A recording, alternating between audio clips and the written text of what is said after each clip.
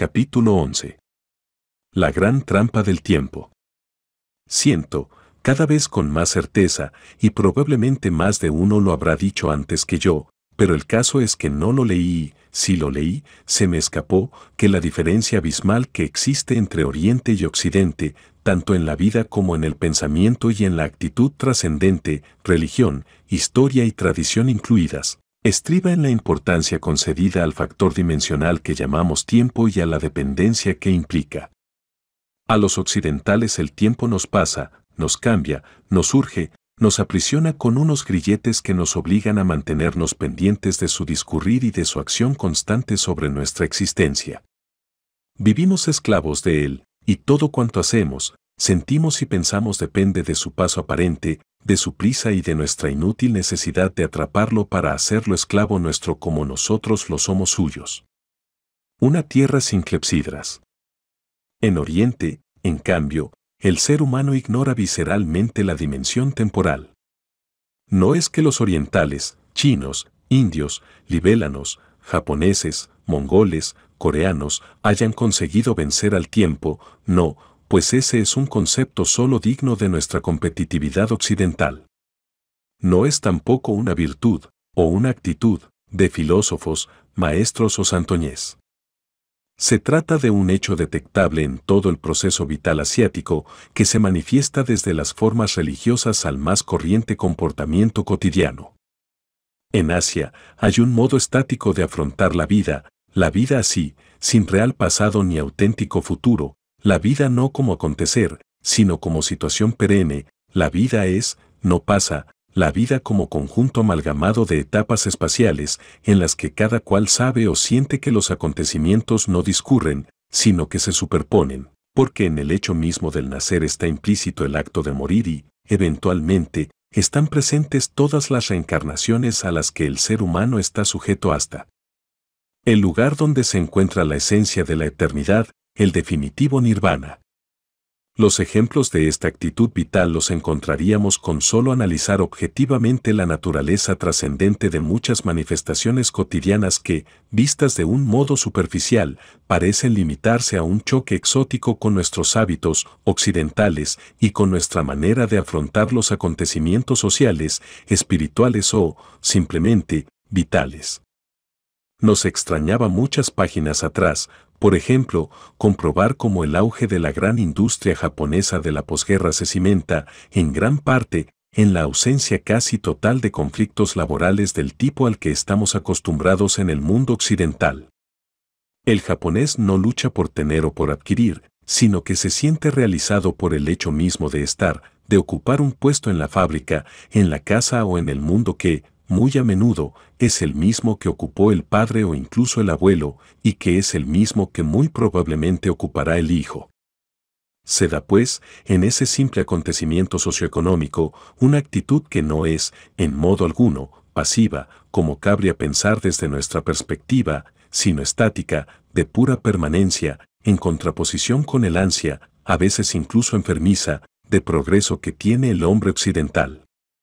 En este contexto del estar, de negación tácita del tiempo, se sitúan por igual, aunque desde perspectivas fenoménicas distintas, la resistencia pasiva del Mahatma Gandhi y el primer Ching, la acupuntura y el cilindro tibetano de oraciones, la miseria de Bangladesh y el sueño chambálico, los monjes corredores del Himalaya y las artes marciales, Rasomón y el libro del té. Analicemos brevemente cada ejemplo, aunque podríamos encontrar muchos otros que, tal vez, resultasen más explícitos aunque menos diáfanos. Toques de eternidad. Gandhi jugó sabiamente la libertad de la India contraponiendo su propia conciencia de esa libertad, sin ahores, ni cuandos, ni mañanas, a la urgencia británica por seguir explotando durante el tiempo que quedase la riqueza del subcontinente en régimen colonial. El primer Ching es el único libro de agüeros, si así puede llamársele, que desborda la profecía a plazo fijo temporal y convierte la predicción en algo inmediato y personal, en nuestro hoy, en nuestro ayer y en nuestro mañana, conceptos que el primer Ching ignora, porque están abarcados en un único e inmutable presente. De Nestredames pedimos un cuándo, del primer Ching, un cómo. La acupuntura es la medicina que utiliza las corrientes vitales constantes del ser humano o las corrientes por las que la energía vital se introduce en el hombre para vencer los deterioros temporales del organismo o para paliar las molestias y la acción nociva de los sentidos, que son precisamente los que crean en nosotros la idea del paso del tiempo. El cilindro tibetano de oraciones consiste esencialmente en asumir el orante el rezo eterno de la naturaleza, haciendo consciente esa intemporalidad en la contemplación, en la enajenación de todo cuanto pudiera significar el discurrir o el dedicar unos minutos o unas horas a esa oración, que ya se encuentra inmutable en el viento, en el agua, en las nubes o en la nieve. El hambre y la miseria de Bangladesh y de tantos otros lugares de Asia es una inanición asumida sin esperanza, casi tan voluntaria como el ayuno de meses de un fakir o de un yogi, al margen del hecho incontestable de la injusticia social, planetaria, que implica en sí misma, esa miseria no levanta la protesta de quienes la sufren. Si son hinduistas o brahmánicos, los hambrientos seguirán dejando que las vacas circulen en torno suyo sin tocarlas. Si son musulmanes, seguirán negándose a probar un solo bocado de carne de cerdo. En contraposición a esta actitud, recordemos a aquellos náufragos del avión andino, que sobrevivieron gracias a devorar los cadáveres de sus propios compañeros. Ansia y urgencia de vida, V ansia y urgencia de tiempo vivido o por vivir son una única cosa en el contexto mental humano.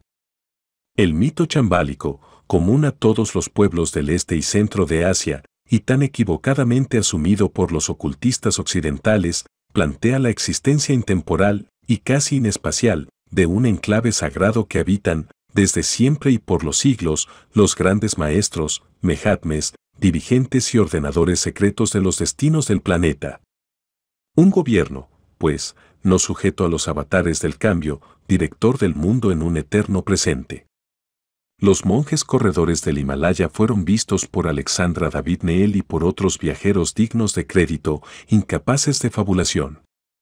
Según sus impresiones, son lamas que han conseguido desarrollar una energía que les permite romper, en una carrera mediúnica imparable por las cumbres, las leyes fisiológicas aceptadas por la ciencia, lanzándose a velocidades inconcebibles por los terrenos más abruptos y menos propicios, no ya para la carrera, sino para el simple y duro arrastrarse por entre los altos riscos de la cordillera más alta de la Tierra. Tan enfrentados como esta proeza yógica a las leyes físicas, sensoriales y temporales a la vez, se encuadran los practicantes de las artes marciales, los diversos tipos de lucha del Extremo Oriente. Fijémonos sobre todo en que, con todas las posibles diferencias que podamos apreciar en ellas, hay una distinción clara entre estas prácticas y los deportes pugilísticos de Occidente.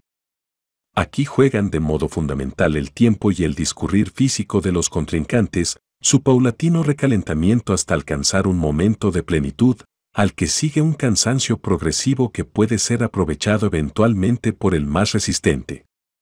Por el contrario, en las artes marciales, el resultado depende en gran parte de la iluminación mística instantánea de los contendientes, una chispa trascendente que puede surgir en un segundo o en una jornada, y donde no se trata de quien la tenga antes, sino de quien logre captarla con más intensidad. El eterno, el cambiante presente. Ignoro si algún lector recordará todavía el ya antiguo film que rodó allá por los años 50, el director japonés Akira Kurosawa, Recuerdo que llegó en el más absoluto silencio a las pantallas españolas, al menos cuatro o cinco años después de su difusión mundial y de haber arramblado con los premios de muchos festivales. Llegó a salas de segundo orden y en medio de la total indiferencia de la mayoría de los espectadores. Sin embargo, aquel film planteaba un tremendo problema universal, el de la subjetividad del pensamiento y del juicio humanos. Un mismo suceso, contado por cuatro personas distintas, se convertía en cuatro acontecimientos superpuestos en el tiempo y sin más conexión que la presencia física de los mismos personajes. Pero había algo más en aquella historia que contaban las imágenes cinematográficas. Allí estaba presente un concepto distinto del tiempo, traducido en un tempo cinematográfico peculiar. Un mismo discurrir de los hechos, contado por uno y otro de los protagonistas, hacían que la dimensión temporal quedase contraída o que, por el contrario, se expandiera según el punto de vista o de juicio de cada elemento integrante de la historia. Al mismo tiempo, las almas se expandían y se contraían también, y con ellas los caracteres, las intenciones, el entorno mismo, aquel exiguo rincón de bosque en el que sucedía todo y que tan pronto se planteaba como un espacio agobiante como se transformaba en un paisaje sin principio ni fin. Curiosamente, a aquella película le aconteció una extraña aventura, producto del concepto occidental de los negocios. Una empresa productora norteamericana compró los derechos para un remake y, no sé ya si ocho o diez años después, las pantallas de todo el mundo comenzaron a exhibir un film del que no recuerdo ni el título, realizado, eso sí, por un director de reconocido prestigio y protagonizado por actores de moda en aquellos años. La nueva película reproducía casi como un calco el argumento, cada secuencia, cada plano y cada personaje de Das Showman. Y sin embargo, había algo en ella, quién sabe si el mismo tempo occidentalizado de que hablaba anteriormente, o tal vez el espíritu de la cinematografía de Hollywood, que la había tamizado a su imagen y semejanza, o puede ser que el mismo desarraigo profundo de la mentalidad japonesa de Kurosawa, aunque hubiera partido de él, que la convertía en un producto híbrido, impersonal, tan íntimamente carente de auténtico sentido como un gurú con corbata y reloj digital. Si tuviéramos que dar obligatoriamente una razón que explicase este fenómeno de adaptación inadaptada, tendríamos que convenir en que el film japonés primitivo, el que sirvió de modelo al posterior producto yankee, poseía algún elemento intangible, un determinado factor que, al no ser captado, no pudo figurar en modo alguno en la versión copiada. A mi modo de ver, ese factor era de índole dimensional. El film originario estaba impregnado por una iluminación que no se ceñía a la reproducción fiel de unos acontecimientos o de unas imágenes específicas, sino que abordaba el tema desde la conciencia intemporal de una experiencia distinta de la pura realidad fotográfica o argumental. Y para captar ese punto de vista enteramente nuevo e insólito, que podríamos llamar trascendente, no había que abordarlo desde supuestos mentales, sino desde una perspectiva que valdría seguramente llamar iluminativa, que no puede ser captada mediante el proceso intelectual, sino desde la perspectiva inmediata, intemporal, impensada e improcesable de la intuición. El sonido de una mano al aplaudir. Muchos estudiosos de las formas religiosas y de los métodos empleados por los maestros orientales para alcanzar y hacer alcanzar la trascendencia declaran, sin más, la total impenetrabilidad del budismo zen y, sobre todo, la imposibilidad de abordar la esencia mística del Quan, su manifestación más característica, la piedra de toque fundamental de su práctica iluminativa. A estos investigadores, que suelen lanzarse al estudio del fenómeno trascendente desde coordenadas intelectuales y críticas que tratan de encajar la experiencia mística de cualquier tipo y de cualquier latitud en la red de los supuestos, de las hipótesis y de las teorías. Habría que recordarles uno de esos koans que ellos tratan de descifrar con la ayuda de su intelecto, un instante de reflexión y será demasiado tarde. Si juzgamos el cuán desde las perspectivas lógicas de nuestra mentalidad regida por el conocimiento sensorial, porque todo cuanto entra en el campo de nuestro conocer lo hace en primera instancia a través de los sentidos, lo captaremos como un juego del absurdo, como un gran despropósito, como una ruptura, a menudo gratuita, de los moldes mentales por los que nos regimos. No podemos en modo alguno analizar ni adaptar al esquema lógico una frase como esta, ¿Qué ruido hace una mano al aplaudir, o una respuesta como la que dio el maestro Chao Chu al discípulo que le preguntó quién era, puerta del este, puerta del sur, puerta del oeste, puerta del norte. La meta última del Zen es un regreso en plena conciencia a la realidad aparente desde la realidad trascendente. Y el cuán es la prueba tangible, inmediata, sorprendente y pura de ese regreso. Evidentemente, la vuelta desde ese mundo de la realidad, que los sentidos y la mente nos impiden captar, implica un cambio total en las perspectivas dimensionales del que ha dado ese salto místico. Él ha visto, olido, tocado, gustado, oído, es decir, ha experimentado por encima de todos los sentidos, un espacio nuevo, en el cual el transcurrir del tiempo ha perdido su sentido, su razón. Allí, en el lugar donde está la luz, este concepto es taoísta, pero no olvidemos que el Zen se implantó precisamente como una simbiosis de las doctrinas iluminativas del budismo en una China poderosamente impregnada por el Tao, no sirven ya los conceptos lógicos, porque se abarcan de un solo golpe todas las perspectivas, todos los instantes, la esencia de todas las entidades particulares que no son en realidad más que aspectos de una totalidad cósmica de la que el ser humano forma parte y con la que ha de identificarse gracias al proceso iluminativo.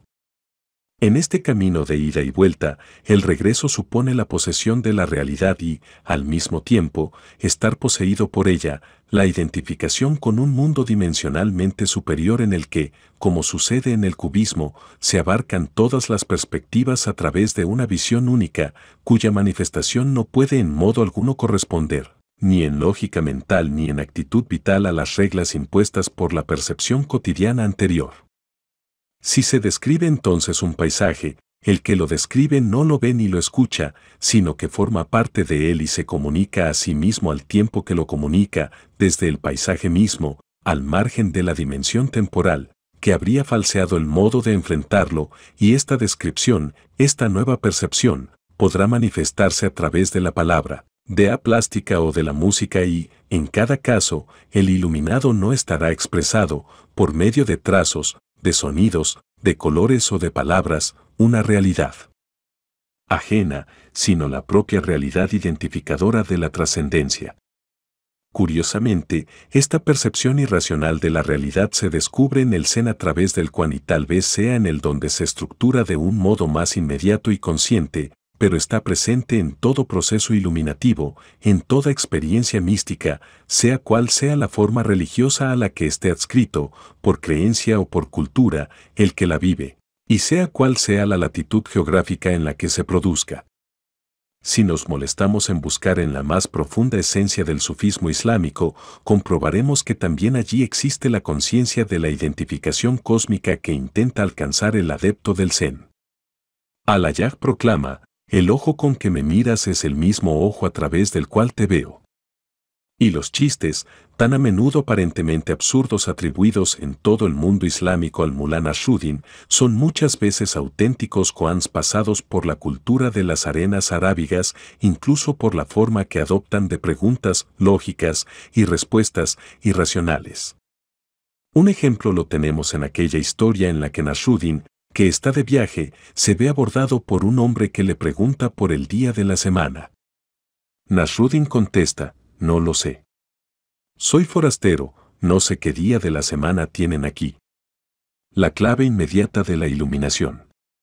Buscando en la recopilación de textos en que proceden de los primeros tiempos de la implantación del budismo en China, traído por Bodhidharma, el bárbaro occidental, de cráneo apuntado, el vigésimo octavo patriarca de la tradición búdica, que llegó a inicios del siglo VI para predicar los principios de la Escuela de la Luz Interior, T.C.A. Chan. Nos encontramos con el hecho de que el salto al conocimiento de la trascendencia tiene lugar, muy a menudo, como respuesta inmediata e instantánea al Impacto de un coano como consecuencia igualmente súbita de un estímulo exterior que o rompe o justifica el resto de la vivencia.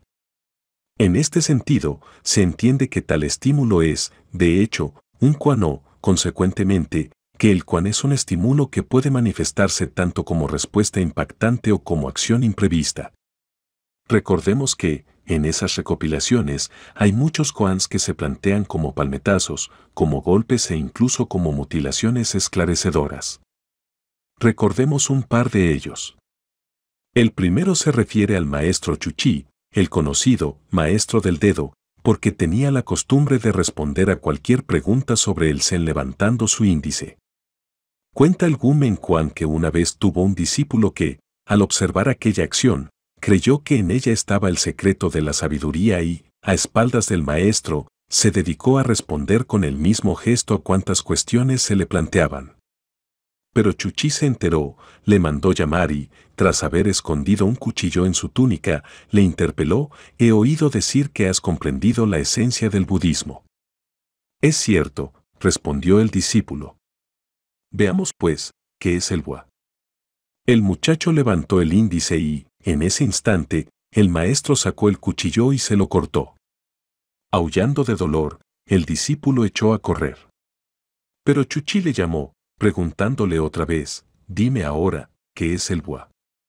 Y el chico, obedeciendo a una especie de reflejo condicionado, trató de levantar el dedo que ya no tenía. Y entonces, dice el texto del Gumen Quan, alcanzó de pronto la iluminación.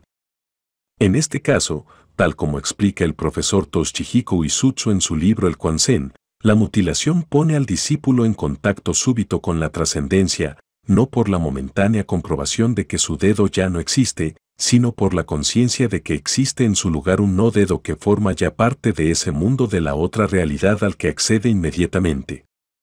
Esa toma instintiva de conciencia ha tenido un estímulo, coánico, en la acción del maestro, del mismo modo que, en otra ocasión, el trayazo trascendente llega precisamente cuando, en medio de la contemplación de un paisaje apacible de otoño, el monje se siente roto el silencio por el lejano tañido de una campana rural. Pensemos por un momento si, acaso, este súbito acceso iluminativo no es el mismo que recuerda la tradición cristiana como el milagro místico de O Monxe da Pasariña que tuvo lugar en el monasterio gallego de Armenteira y que recordó Alfonso X en su cantiga 116 a la Virgen María, en aquel prodigio místico, el conocimiento súbito de la realidad del paraíso, le vino al fraile sanero cuando oyó de pronto, en medio de su meditación, el canto de un pajarillo que fue el estímulo de su tránsito y le hizo perder súbitamente la noción tridimensional del tiempo. El mecanismo del cual es, pues, en primer lugar, el salto brusco e inmediato a la realidad superior gracias al estímulo, en segundo lugar, el reconocimiento, iluminado, no intelectivo, de esa realidad y, tal como apuntábamos anteriormente, el regreso consciente trascendido a un mundo de apariencias que ya no logrará engañar con su lógica, porque el místico será ya partícipe de esa trascendencia. A partir de entonces, su visión del mundo, de las cosas y de los hechos, estará impregnada de realidad y su lógica no tendrá ya nada que ver con leyes aristotélicas, sino con la evidencia mística adquirida mediante el estímulo. La beatitud del retorno. Che Yuan, un maestro zen del siglo XI, cuenta del siguiente modo su proceso iluminativo. Hace 30 años, antes de comenzar a practicar el zen, yo veía una montaña como si fuera una montaña y un río como si fuera un río. Tuve luego la suerte de encontrar maestros iluminados y pude, bajo su dirección, alcanzar un cierto grado de despertar. En este estado, cuando yo veía una montaña, ya no era una montaña. Y, cuando contemplaba un río, ya no se trataba de un río. Ahora me encuentro en el estado último de quietud. Lo mismo que en mis primeros años, ahora veo una montaña simplemente como una montaña y un río simplemente como un río.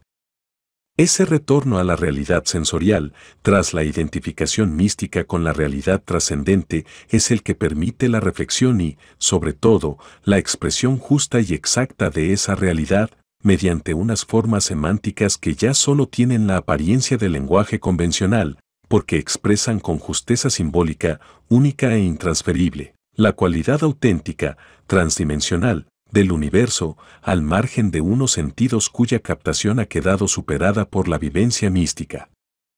Es el paisaje descrito por San Juan de la Cruz en el Cántico Espiritual. Mi amado, las montañas. Los valles solitarios, nemorosos. Las ínsulas extrañas. Los ríos sonorosos. El silbo de los aires amorosos. La noche sosegada. En par de los levantes de la aurora. La música callada. La soledad sonora. La cena que recrea y enamora. En los subrayados que me he permitido añadir es donde surge de modo, creo, diáfano, la visión ilógica y trascendente de esa otra realidad captada mediante la iluminación, que justifica y reestructura la que los sentidos han creado en captación falsa y parcial. De ahí los Aires amorosos, amor y aire nunca casarían en los parámetros de las relaciones lógicas, la música callada, el sonido del silencio es una captación suprasensorial sin paliativos y, sobre todo, la relación entre soledad y sonido, que, significativamente, corresponde al cuando el ruido de la mano solitaria que aplaude, que citábamos anteriormente.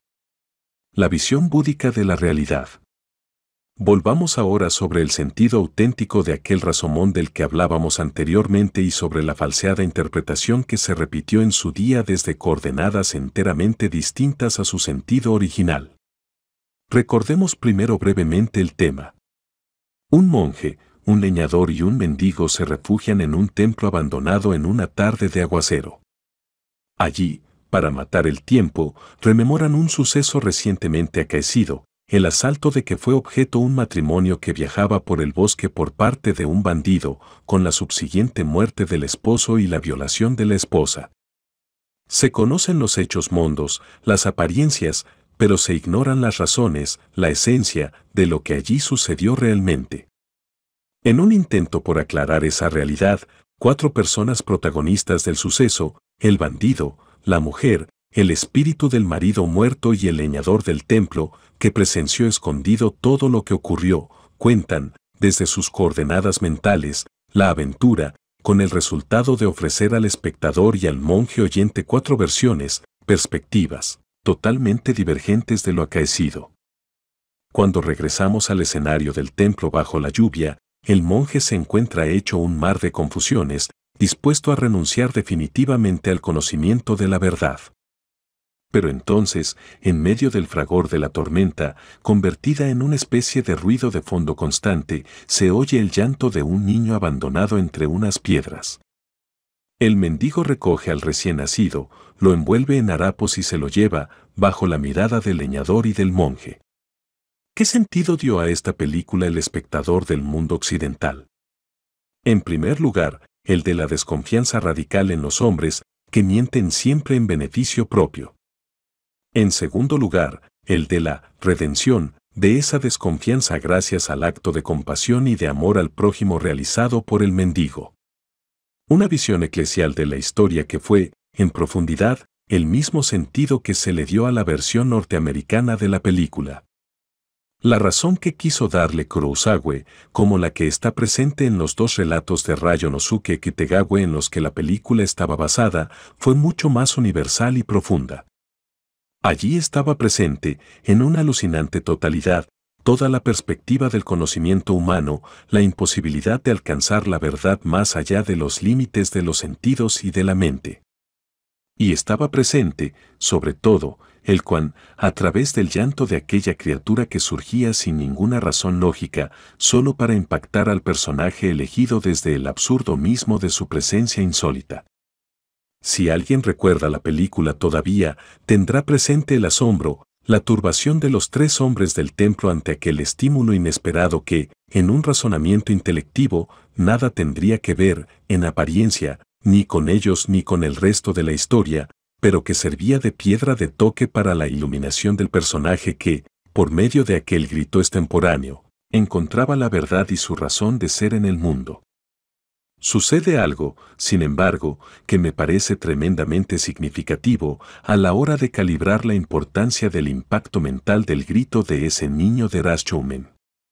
Con una perspectiva de 25 años desde que la película se proyectó en España, la he recordado alguna vez con amigos que también se entusiasmaron con ella entonces.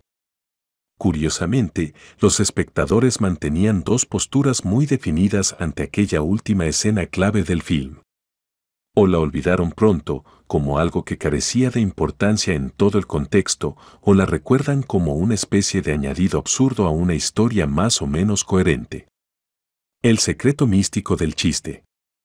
El hecho de que suceda esto no debe extrañarnos ni hacernos juzgar como superficiales o hasta incultos a estos espectadores precisamente el cuan, lo mismo que todos los demás estímulos que intervienen en el proceso místico, golpea con su presencia, al margen de que provoque, en una u otra persona, el paso a la comprensión trascendente, únicamente a quienes poseen ya un conocimiento más o menos profundo de lo que significa el proceso místico. Para los demás es un absurdo total o, como sucede en el caso de las historietas derviches, actúa como un simple chascarrillo divertido, protagonizado tal vez por un loco como el Mulana Shudin. No olvidemos que, por ejemplo, las historietas de este derviche sufí tuvieron en países como la República Argentina una difusión enorme, equivalente a la que en España tuvieron en su momento los chistes referidos a Quevedo. ¿Significa esto que el ser humano corriente, ustedes y yo, los que no alcanzamos la iluminación de que aquí se trata, toma a broma los hechos más trascendentes? O tal vez que, incapaz de entender el impacto de la trascendencia, se burla de ella por instinto? Yo no lo creo así. A mi modo de ver, surgen constantemente en torno a nuestro claves que nos están advirtiendo, consciente o instintivamente, de la otra realidad o al menos de la posibilidad de que el mundo circundante sea una apariencia, detrás de la cual puede surgir una certeza insólita que tendríamos que aceptar sin necesidad de entenderla por ningún proceso intelectivo, sino porque, al hallarnos en su presencia, se hace evidente, incluso a pesar nuestro. En este sentido, yo recomendaría fijar la atención en muchos chistes gráficos que aparecen corrientemente en la prensa y que, conocen la intención expresa de su autor, nos están moviendo los hilos del subconsciente hacia todo cuanto la lógica está negando. El chiste es, muchas veces, aunque sea absurdo e irracional asegurarlo, un impacto místico, un toque instantáneo de trascendencia, una visión subliminal que nos muestra, la aceptemos o no, la mentira integral de la lógica cartesiana, la falsedad de nuestro sentido dimensional del tiempo, el error de nuestras percepciones sensoriales. Algo, en fin, que nos lleva a captar, por la vía del absurdo, una realidad donde las apariencias no cuentan en modo alguno, donde los sentidos engañan, como engañan a la vista las figuras del renacentista Arcimboldo o del surrealista Escher, como nos engaña, lo veíamos al principio, nuestro sentido del tiempo cuando nos sumergimos en la realidad inalienable de cualquiera de los prodigios a los que nos someten los santos, los brujos, me refiero a los auténticos o los videntes. ¿Qué mayor absurdo que una levitación al romper las leyes de la gravedad? ¿Qué mayor absurdo que una profecía al hacer añicos las leyes aceptadas del tiempo? ¿Qué mayor tontería, vista con ojos de lógica, que el vivo sin vivir en mí o que la música callada de San Juan de la Cruz? El impacto de la realidad. Si nos tomamos la molestia de comparar objetivamente el hecho escueto del impacto que conduce al encuentro con la realidad trascendente, veremos que ese tránsito se produce lo mismo en Oriente que en Occidente, porque no se trata en modo alguno de una cualidad cultural o etnológica, sino de un fenómeno humano, por más que, eventualmente, tenga que ser más común en culturas en las que el concepto temporal posea ya unas características propiciatorias que faciliten la experiencia lo que cambia y, sobre todo, lo que hace que en Oriente se vea casi como normal la presencia de fenómenos como estos y que en Occidente se integren más decididamente en la categoría de lo insólito o de lo milagrero es, precisamente, el nivel espiritual de las culturas. Ese concepto de sujeción a la dimensión temporal que existe en Occidente, enfrentado al sentido estático, repitámoslo, no pasivo, de Oriente, tiene como consecuencia que un mismo fenómeno sea juzgado allá como connatural al ser humano, en tanto que acá existe la tendencia, oficial y ortodoxa en principio, pero de rechazo inconscientemente aceptada por el hombre de la calle, a considerar cualquier tipo de tránsito a la otra realidad como un favor o como una concesión de la entidad desconocida y prefabricada que se ha establecido que gobierna, desde la trascendencia, los destinos del hombre. Se trata, pues, de un sentido casi obligado de dependencia y sumisión, que conduce, en Occidente, al ser humano a considerarse siempre como entidad sujeta al capricho o a la infinita superioridad de la deidad de turno.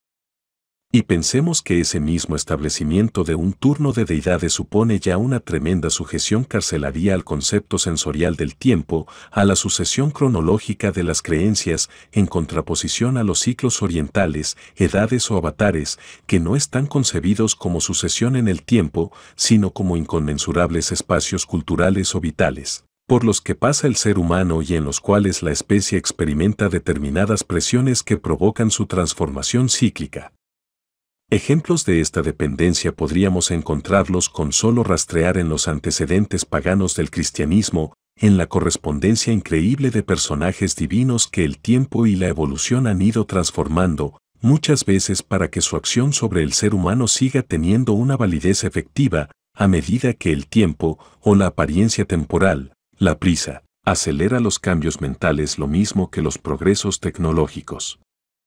Es así como encontramos una correspondencia asombrosa entre Mitra y Cristo, o entre Hermestas, Mercurio y San Miguel, o una evolución de idéntico personaje divinal desde la gran Venus esteatopígica de la prehistoria a Nuestra Señora, pasando por Isis, Astarte, era y toda la sucesión de grandes madres representantes de la fertilidad de la tierra y de los dones que permiten al hombre adquirir la enseñanza. Todos estos personajes, bien directamente o bien como representantes más o menos evidentes de la divinidad suprema, son los que tienen adjudicada la cualidad de conferir al místico su experiencia, una experiencia que jamás podría adquirir, según estos parámetros religiosos, por medios propios. Recordemos que aquel sanero del que hablábamos anteriormente, o Monxeda Pasariña, del monasterio de Armenteira, pudo ver su historia escrita gracias a que Alfonso X el Sabio, rey de Castilla y poeta, la incluyó entre las cantigas gallegas que relataban los milagros de Nuestra Señora para ejemplo y devoción de los fieles. Cuando un papa escribe una tesis. Pero no estoy refiriéndome únicamente a cosas del pasado. Hoy mismo, a la vuelta de la esquina, los poderes religiosos siguen reclamando para la divinidad oficial de turno el poder de empujar al místico a su experiencia trascendente. Y hasta se da la paradoja de que, en algunas ocasiones, ese místico, cristiano, naturalmente, resulta mejor comprendido por un maestro oriental que por sus mismos correligionarios. Absurdo, pero cierto. Tal vez se trate también de un Juan. Viene esto a cuento por el hecho de que, no hace mucho tiempo, apareció en las librerías españolas la traducción de la tesis doctoral que el Papa Juan Pablo II, Carol Boitila, escribió en sus tiempos de estudiante de teología de la Universidad Católica de Santo Tomás, en Roma, allá por el año 1948. La tesis en cuestión tiene por tema el de la fe y San Juan de la Cruz y, curiosamente, a través de la pirueta teológica, el estudio del futuro Papa llega a la conclusión de que la vivencia mística es imposible si no va acompañada, conducida y dirigida, quiero decir, si no es provocada, por la divinidad y la fe que despierta. El místico, en estas coordenadas de fe pasiva y divinidad activadora, es un mero pelele a quien se concede desde lo alto la gracia de una vivencia trascendente que tiene que aceptar.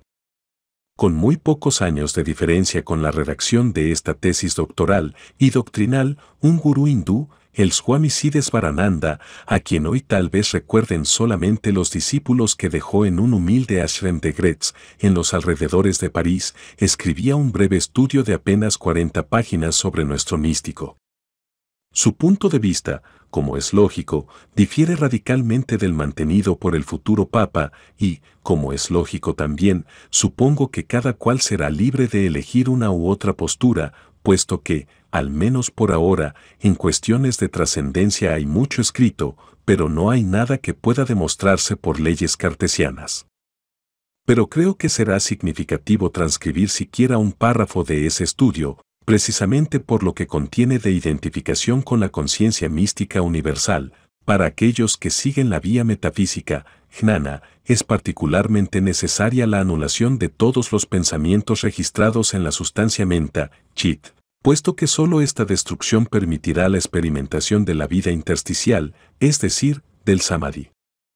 El satori en tanto que acontecimiento surge a partir del momento en que los dos aspectos de la realidad, la expresión y la no expresión, se colocan en un mismo plano, en ese instante surge el conocimiento de que el estado de jnana o satori ha estado siempre presente en el místico. El Badante, el Zen y San Juan de la Cruz afirman unánimemente que este estado no puede provocarse, que ninguna disciplina propicia el acceso al estado superior o final.